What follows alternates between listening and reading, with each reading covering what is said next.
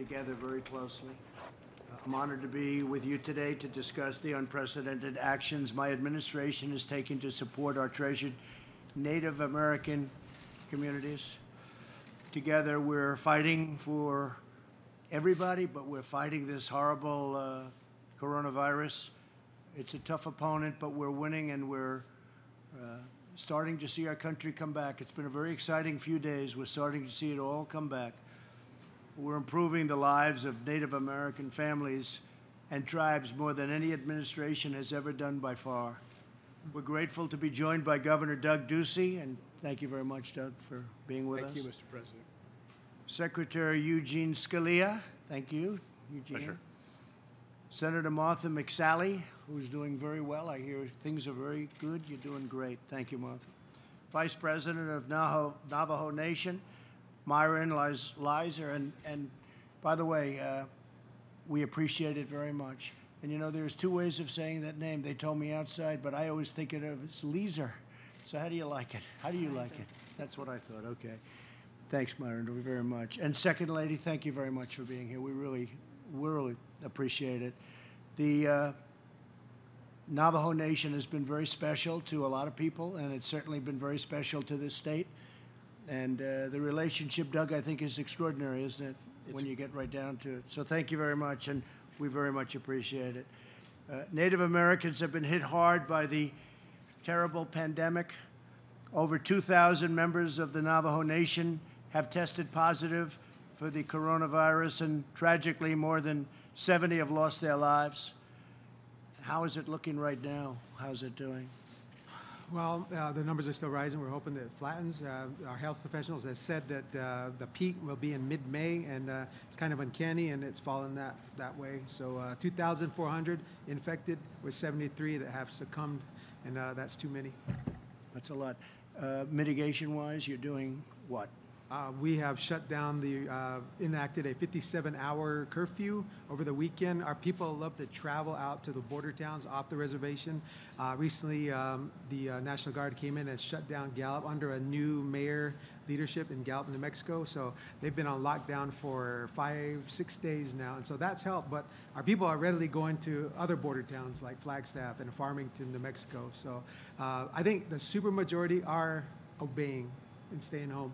Well, what we're doing, you know, we're bringing these two, these are very hard to come by because they're very popular. This is done by Abbott Laboratories, and we're bringing them for you. And these are the quick tests, and they're very accurate and uh, very fast. Yes. So uh, we're doing that. I think we have a thousand uh, cartridges too, a thousand for a thousand tests. So hopefully that'll be uh, that'll be helpful to you. Yes, Okay, we every little bit it helps. Because you've done a fantastic job. You've been great friends. Native Americans have been hit hard by this terrible pandemic. Over 2,000 members of the Navajo Nation have uh, really, I mean, it's been incredible what's taken place, and there's nothing we can say. But the uh, coronavirus is tragically, uh, as you just said, 70 people lost their lives. The administration is deploying the full resources of the federal government to support and protect our Native American communities in this very grave time of need. And I know that uh, I think I can speak very strongly for Martha and for the governor. Uh, we're full hands on deck, and you're working very hard. I know that, Doug. Work very, very hard. Uh, and even uh, Department of Labor. It's uh, it's been it's been working very hard with everybody that's in this room and everybody that's that needs to be right. A- anything you have to say, by the way, Gene, while you're here, please. It, it's a pleasure to be here. It's wonderful being on the road again, as you know, Mr. President. And, and great being in Arizona, which is such a spectacular state. And uh, the Native American communities here are such a great part of the state and, and really our, our nation and our nation's heritage. So it's so good to be here. Um, I know, Mr. President, you have important announcement to make today about additional things we're doing to help these uh, tribal uh, governments. And uh, we're certainly doing all we can at the Labor Department to implement uh, the legislation that you signed, that you got enacted so incredibly quickly. People forget, three weeks in March, three major pieces of legislation with paid leave, with uh, unemployment benefits, and with the Paycheck Protection Program to put us in position to get going again. And, and now, uh, Governor Ducey and I were just talking about it, we're reopening. And it's, it's a wonderful thing to see. I think we're well positioned. And I think, Mr. President, with your leadership, uh, we're, we're to get back to where we were just a few weeks ago. Things were going so well, and, uh, and we'll get there. I, we had a nice conversation, the governor, vice president, second lady, and I, a little while ago, talking about some of the things we're doing at the department. I mentioned these dislocated worker grants that are made available also to tribal governments. So urge you to look into that and see if we can help you with that. And I'd like to introduce also the governor, uh, Stephen Lewis, who's, who's been terrific and working with us very hard. Thank you very much, Stephen. It's fantastic. We appreciate it very much. How is it going? Well, it's, it's, you know, going uh, to a point where we're trying to keep above, beyond the curve as well. Uh, We're located just not far from here, uh, our, our traditional lands and our, our- our reservation land base. That's Helu, Helu River. Gila River, Gila River, home to uh, one of the, one of the flag raisers uh, of, on uh, Mount Suribachi, Ira Hayes. Right. And, uh, That's you know, we- beautiful territory, isn't it? it is, it is. Thank you, thank you, President. But it's, uh, how are you, how are you doing in terms of uh, uh, the amount? What are your numbers now, as of today? What are your numbers? Our, our numbers, uh, we're, we've, we've tested uh, over 1,000. We've had uh, about uh, just over uh, 11, uh, 1,100 tests. We've had one fatality. Uh, we have uh, 44 positive tests. Uh, our uh, tribal community is, is around 23,000 members. Uh, So uh, we are uh, keeping ahead of the curve, uh, uh, but uh, I know testing is a big issue. And uh, also, thank you for working with your administration on getting one of the Abbott analyzers Right. as well. We were one of the first tribes to get one as well. And then also working with Governor Ducey, uh, getting uh, five ventilators as well. That's right. Um, we, we, run our own healthcare, independent of the Indian Health Service, uh, Gila River Healthcare. That's great. And so we hire our own uh, doctors, we put our own communities, uh, members to work, and from other tribes as well. And so we're taking care of our, our own uh, tribal members on this. We, we have, uh, really, we, we have a, an incident command started as well. All of our departments are collaborating uh, for one purpose, and that's to keep our, our community members safe, Mr. President. That's fantastic. Good. And you'll have the ventilators there soon, I know, right? Yes. Knowing Doug, they're good ventilators too, aren't they? Yes. Right? They're really good. Weeks ago, I signed the CARES Act, which includes $8 billion to help tribal governments, and I want to thank Senator McSally for fighting hard to get those uh, funds and get them here and get them to a lot of different people all over the country, including to the folks in this room. So I want to thank you, Martha. You've done a fantastic job, really have. This is the single largest investment in Indian country in our history. So the amount of money that's being uh, sent to Indian country, as we call it, is the largest amount in the history of the U.S., and you deserve it, and you've been through a lot. The Navajo Nation will soon receive over $600 million. That's a lot. Should I renegotiate that? Can we renegotiate that? I don't think so. Only if we go up. He said only if you go up. I understand. that. I've heard that before. The Lihu uh, River will receive, uh, and, and I think you probably know all about this, but we're giving you some information, $40 million. And you're going to use that very well. I know that because I know you.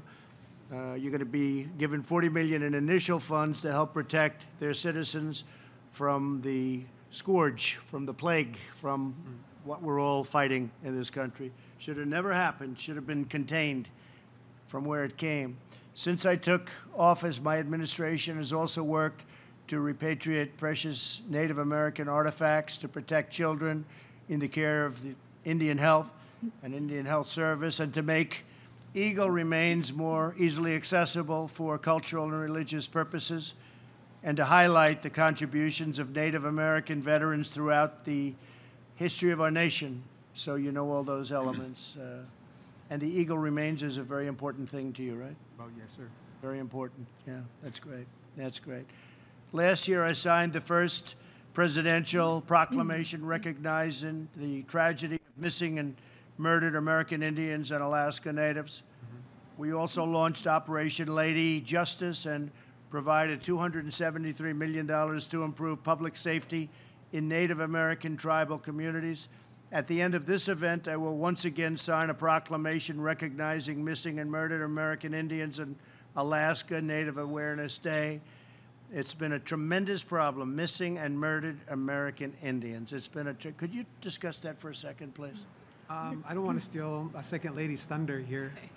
Um, Good, I'd been- like to have the second lady. Go ahead, please. Uh, well, we we Navajo Nation has been really hit hard by missing and murdered Indigenous women. Um, you know, it seems to be a growing um, a growing um, issue that's been happening with Navajo, and so we, uh, you know, with the Ashlynne Mike case that came up in 2016, where she was kidnapped and raped and murdered in Shiprock, New Mexico, May 2nd, 2016. So that's kind of what opened the door for Navajo to start saying, okay, we need to do something because that became the forefront. And so since then, the Amber Alert on Navajo Nation has gotten better, but still needs help with funding, still needs help with um, getting the, the data together. Um, our First Lady, Cecilia Nez, is also um, part of the New Mexico task force that's getting together data. And uh, so we're just really needing help in that in that sense. And so we don't want to lose any more of our, our Native sisters, our Native mothers. And so the cry is is you know to get the awareness out because a lot of people don't know of the missing and murdered indigenous women and girls and now it's hitting the lgbtq um, community and so we just want to make that aware and know that hey you know we're we're waving our arms here you know i think there was a movie that came out with uh, native women that have been uh, Yeah, uh, murdered right. and, and missing. And so it hit it hits close to home because we have a, a close family member, Patricia Potero, that went missing in 2015. They found her two months later, murdered in Albuquerque, New Mexico. And so her case still remains unsolved. We got Tamika Platero, who's from Little, Little Water, uh, New Mexico, who went missing November 25th, 2019, and is still missing. And, uh, and so we have these girls out there that are missing and we don't know. And, you know, there's So that this has jurisdiction. been far disproportionate to uh, other people and other uh, areas of the country, what you, what you've gone through. I mean, I've been hearing about this for a long time. Yes. For years and years. Uh, This has been for many years, for many Yes. decades, Yes. Yes. disproportionate. Well, $273 million, a lot of that's going to go toward trying to solve that problem. It's a problem that can be solved. Yes. Uh, Thank you, Mr. President. Thank you, Mr. uh, President. I know you're going to use it well, Yes. and you'll figure it out, right? Yes. It's a yes. horrible, it's a horrible thing. So New Mexico versus Arizona, what, uh, tell me, because we're here. Uh, Where, where are you going to be, uh, where, where's the problem worse? New Mexico or Well, Arizona? Navajo Nation spans Utah, New Mexico, and Arizona. And so, you know, I think all of us working collaboratively, that's going to really help, you know, because sometimes we get misclassified. We get misclassified as Hispanic. And so I think there was a, a Hopi um, girl that had um, been murdered here in Phoenix, and they classified her as Hispanic. And so, so a lot of times, you know, the people don't know. So I think with the more um, talks out there that people will be, you know, start Is to there a understand. certain area, though, or you have the four states, is there a certain area where the problem is exacerbated or worse, or is it Well, it's, I think it's just all Indian country, you know, Indian, Indian country, country. whether it's Alaska Native or Navajo or Hopi or Gila River, you know, it's it's Yeah. all over. It's a very big problem in Alaska. Yeah, Mr. President, if I uh, could uh, add to that, uh, just recently in Farmington, New Mexico, there was an Anglo woman who was abducted, and uh, I'm most certain she came across the Navajo Nation and was uh, found murdered in uh, Flags, near Flagstaff, Arizona. And so I think it just speaks largely to the lack of public safety officers in such a vast land, the size of West Virginia. It is a vast, yeah, it's a vast land. So, uh, not only Navajo and others, but it's just a, a area that I guess because there's uh, not as many public safety that uh, you, you get those Well, I'm kinds going to be signing something in a couple of moments, and I hope it helps a lot, not just a little bit, a lot. Yes. And I think you'll do a fantastic job. I know you're going to be watching it personally. Yes. And uh, between the three of you and everyone else that I know so well, I think you're going to do a great job. And so, go get them. Thank you, Mr. President. Go do President. the job. I'd like to maybe finish off with uh, the governor. Great governor, you're doing a phenomenal job. Uh, what do you have to say, Doug? Well, my, My mic thankfully is working. First, I want to say thank you, Mr. President. We're, uh, we're thrilled that you're back in Arizona, especially to talk these specific tribal issues. Uh, I want to say to Second Lady Lizer, to uh, Vice President Lizer, to, to Governor Lewis, uh, this focus that we've had on our tribal nations, first and foremost, around the coronavirus. Uh, with a special shout out to Senator McSally, who advocated for these ventilators that were so needed on Navajo Nation. Please extend my, my best to, to President Nez. And uh, I'm, I'm so grateful, Mr. President, that you took a personal interest in getting these ventilators to Navajo Nation. And I'm, uh, I'm proud, Mr. Secretary, in Arizona, our, our legislature, both Democrat and Republican, last year signed HB 2570. And Second Lady Lizer, I want to give a, a personal thank you to you. Uh, this was the bill to address missing and murdered indigenous people. And what we hope to do in Arizona is to reduce and eliminate this scourge that we have on our native nations. And uh, in, in Arizona, we have 22 tribal nations, and 75% of the Navajo people reside in the state of Arizona. So that was a positive thing that we could get done last year. And Governor Lewis, I want to say to you, another positive thing in addition to the HB 2570 that we passed, it was also unanimous, was the drought contingency plan to address Arizona's water future. You were a real leader on that, and for that I'm grateful. Thank you for being here to, Well, thank to you very celebrate these accomplishments, Mr. And you know, one of the other accomplishments we have is uh, uh, in Arizona and a lot of other states, we're building a wall, and you're finally getting what you need. And interestingly, California's calling because in a uh, bordering towns, as you know, in Mexico, they have a very big outbreak of the coronavirus. And California is calling saying, uh, you got to help us. Uh, those are not calls that the media knows about, but that's the facts. And in Tijuana, right along the border, they have a tremendous outbreak. And uh, we have just completed a uh, 172 miles of wall, and it's real wall, not the kind you were having built over the years that were sort of scoffed at, right? And we've done a lot in Arizona, and the people are letting us know they're so happy, they're so thrilled about it. Uh, it uh, it's made a tremendous difference, and we've had one of the best months ever in the history of our country for uh, not having people come in that we don't want, that we don't want in our country. We want to have the people that that uh, come in the right way. So uh, you see the numbers. The numbers are about the best we've ever had in the history of the country. So, so it's good. But we're getting that done. I guess you see. Do you see where they're doing it? Yes. Yeah, it's been a big, uh, it's a big thing. 100, we're up to 172 miles.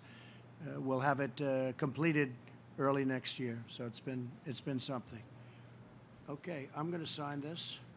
I want to just congratulate you, Myron. Yes, sir. Thank you. I want to congratulate you, Second Lady. That's so fantastic.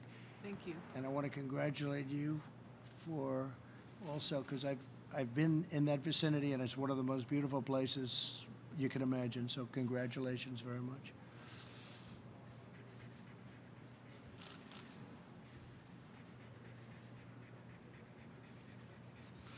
Thank you, Stephen.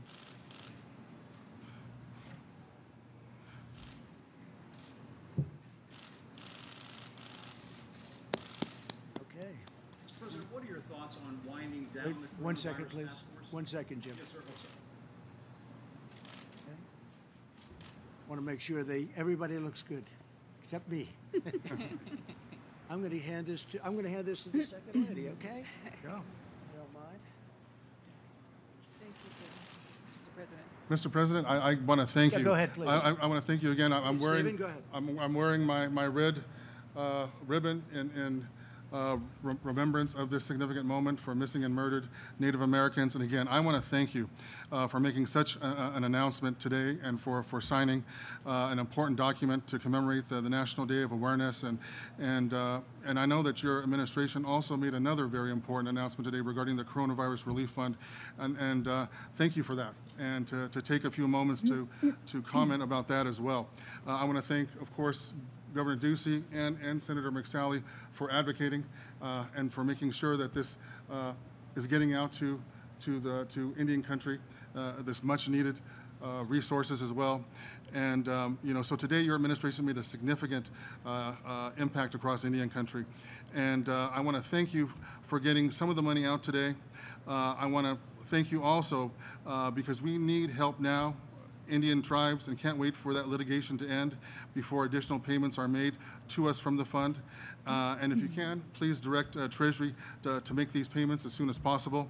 Uh, and three, uh, you know, we need to spread the, the limited resources currently available as far as, as we can and to avoid allocating to a very few tribes and under allocating uh, to most others. And this means that you should include a limit or cap on the total funding any one tribe receives.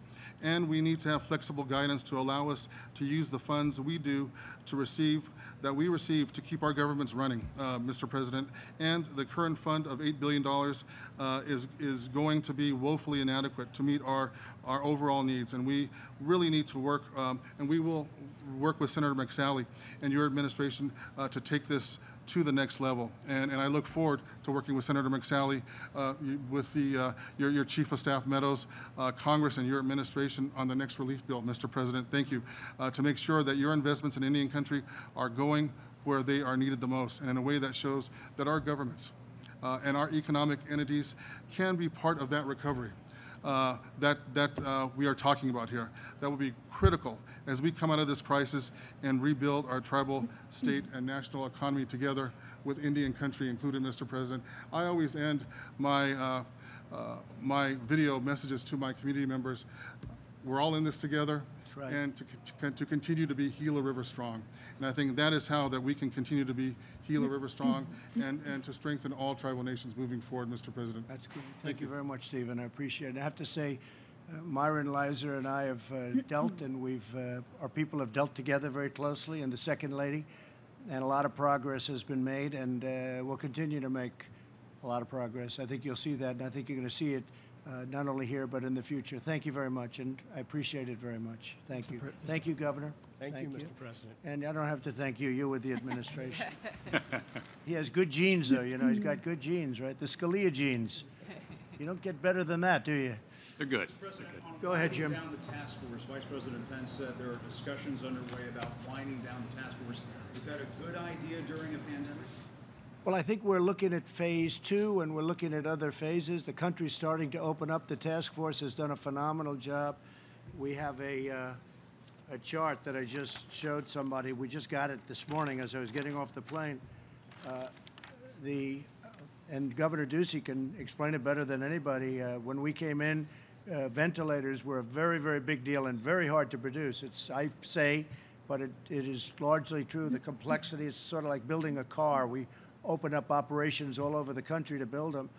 And uh, we, there was, hasn't been one person that needed a ventilator that didn't get it, which is amazing. And now we're helping other countries and we're stockpiling in case some tragedy like this happens again. But this just came out on testing because I think uh, we are at the point, or maybe uh, will soon be at the point, where I can say the exact same thing on testing. Uh, these numbers were just released, and this is the United States, the amount of testing, and our level of testing, and the quality of testing. This is just uh, from uh, Abbott Laboratories. This is, you know what this one is, Jim. It's a five-minute test. It's a great test. It's something people like because you don't have to go through a laboratory. You don't have to send it in and send it back, and it takes a couple of days if they do a good job. So this is the testing, and the line here is the United States. We're over 7 million tests. Uh, Germany is uh, at two and a half. Italy is less than that. Uh, Japan is down here, in South Korea, which we talk about. And again, I'm very friendly with South Korea with, and with the president of South Korea. And he calls to congratulate us on our great testing. South Korea's over here. One of the reasons we have more cases than any other country by far is because we test much more. So if you test, you're going to have more cases. If we tested down here, we wouldn't have very many cases. You know, they like to say we have more cases than anybody, but the fact is, uh, when you look at these numbers, uh, and this is the official count. Now, I can't tell you whether or not other countries are uh, giving us the straight deal, but I can say that I know one thing it's only going to be on the high side, not going to be on the low side. So, this is the other countries. These are the United States, and uh, it's incredible. Remember this, and I think it's important to say this, Jim. The quality of our test is also the best. I mean, it's acknowledged to be the best. So again, when we have cases, and we have more cases than anybody else, does anybody really believe that we have more cases than China? But they don't talk about numbers like this, uh, and other countries. But we report everything, and Don't you wanna I, I just, I just want to say that we've done an incredible job on testing. With that being said, we have some additional, including antibody tests coming out that will even blow these numbers away. But nobody's done the job we've done. Go ahead. But don't, but don't you, need- don't you need to continue to meet with the task force to get this scientific Well, expertise? well, yeah. Uh, we will have certain people, as an example, uh, we have hospitals that we built. We have medical centers that we built. We have people on the task force that focused on that. We have people on the task force that's focused exclusively on ventilators. Well, we have more ventilators now than anybody in the world, and we're helping France, as you know. We're helping France, Italy, Spain, Nigeria. We just we're giving, I think, 250 to Nigeria. Uh, we have many countries that we're helping, but the ventilator problem is solved, so you don't need that. We have now a different. It's sort of a combination of safety and reopening. So we'll have something in a different form. But the task force for what we've done, uh, I think everybody out there, when they're being very honest, I think the job we've done on testing will shortly be, and maybe even supersede, Doug, the job that we've done on ventilators, which people can't even believe. We had a call the other day with the governors. Mike Pence took the call, and they had, I believe, all 50 governors. And it was, they say, the best call we've had thus far. We're working closely with the governors. They have everything they need. And if they don't have it, and if they don't need it, or if they can't get it locally, uh, then they know that we are stocked and we are ready. And we can have, as an example, uh, we won't need this, but we were ready for weeks to have, we had 10,000 ventilators sitting in various locations with people by the ventilators ready to have those ventilators roll if they needed them in, as an example, Detroit or various other places over the country. So I think that as far as the task force, Mike Pence and the task force have done a great job, but we're now looking at a little bit of a different form, and that form is safety and opening, and we'll, uh, we'll have a different group probably set up for that. Are you saying mission accomplished? No, no, not at all. The mission accomplished is when it's over. When it's over, Jim, mission accomplished. No, I wouldn't say that at all. You need, sir. See, what? Certain you will get the advice you need health-wise in a sense. What does that mean? Go ahead, repeat your question. You say it. You'll get the advice that you need. Oh, yeah, we have great advice. We have great people. We have great people. Yeah, we have great doctors. We have great medical people, laboratory people. I have to say, I think tremendous progress is being made on uh, vaccines, which everybody should be very happy to hear. And therapeutically, I think we're making very good progress too. We're making tremendous progress. Uh, we have the greatest doctors in the world, the greatest laboratories in the world, and I have to say, we're working with other nations. Uh, we're working with UK, we're working with Germany, we're working with uh, various other nations who are very advanced and doing a good job. I think therapeutically and also from the standpoint of laboratories, uh, we are uh, laboratories as it pertains to vaccines. We're doing very well. I'd love to see a therapeutic answer even before the vaccine, because we could take care of you know people that have a current a current problem or dilemma. Uh, but uh, therapeutically and for the vaccines, a tremendous amount of progress. Uh, Oxford, Johnson and Johnson, uh, incredible places are doing, I think, a really good job. And they're very advanced, but we have to now see. We're going up to that very delicate final stage with a number. I think enough, a number of other countries are also doing quite well, my people say. And just so you know, working very closely with other countries, and whoever gets it first, my hat's off to them. We're not looking for first, second, or third. We're looking to get a vaccine that works, and progress has been made. Mr. President, just to follow up on Jim's question, uh, with the doctor saying that there might be a recurrence of the coronavirus in the fall, why, can you just explain why is now the time to wind down that task force? Well, because we can't keep our country closed for the next five years. You know, you could say there might be a recurrence, and there there might be, and uh, you know, most doctors or some doctors say that it it will happen, and it'll be a flame, and we're going to put the flame out. We've learned a lot. You know, we've learned a lot about the coronavirus. Uh, we've learned a lot about this hidden enemy. It's a it's a dangerous enemy. It's a bad enemy. You see what it does, especially for people over a certain age. And people that have a, uh, an infirmity. If you have diabetes, if you have a bad heart, if you have a certain problem, it just, uh, Myron, it just goes after you. It's vicious. That's right. And we're saying that people that are over 60, 65, but over 60, we're even saying, uh, sort of stay back for a while. We recommend you staying back for a while. Uh, at the same time, with young children and children, we'd like to see the schools open early next season and on time. Uh, it's incredible how the, it's very unique how the children aren't affected, but people that have problems and older people are, uh, can be very badly hurt, injured, or die from, from this problem. But even if, hold on, I just want to finish a follow-up. If, I understand you don't want to keep the country closed for five years, but don't you want your advisors to keep looking at this closely the way Oh, they are looking at it very closely. They are looking at it very closely. And, and I tell, I just said it today. I used the word for the first time, I think, in terms of what we're doing. I'm viewing our great citizens of this country, to a certain extent and to a large extent, as warriors. They're warriors. We can't keep our country closed. We have to open our country. Somebody said, oh, we could keep it for the next 18 months. We could keep it for the next two years. Doug Ducey's done an incredible job as the governor of Arizona. Uh, he- the people aren't going to accept it. They won't accept it, and they shouldn't accept it. We have a great country. We can't keep it closed. I mean, I've had doctors say, well, why don't we close it for a couple of years? This is the United States of America. I created with a lot of other very talented people and the people of our country the greatest economy in the history of, of the world, the greatest that we've ever had, the greatest employment numbers, the best numbers we've ever had, the best stock markets. I think we had 144 days of record stock markets. And then one day they said, we have to close our country. Well, now it's time to open it up. And you know what? The people of our country are warriors, and I'm looking at it. I'm not saying anything is perfect.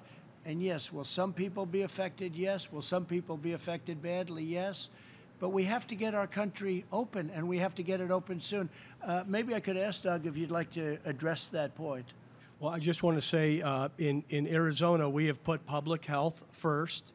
Uh, we have looked at the numbers that your medical experts put forward in the Opening Up America Again plan uh, in terms of uh, our, our symptoms, uh, our cases, our hospital capacity, our ability to, to surge on our testing. And we're going to continue to put public health first, but we know so much more today than we did six or eight weeks ago. So we believe that we want to protect our most vulnerable. Those are, are the folks that are of a certain age with the underlying health condition.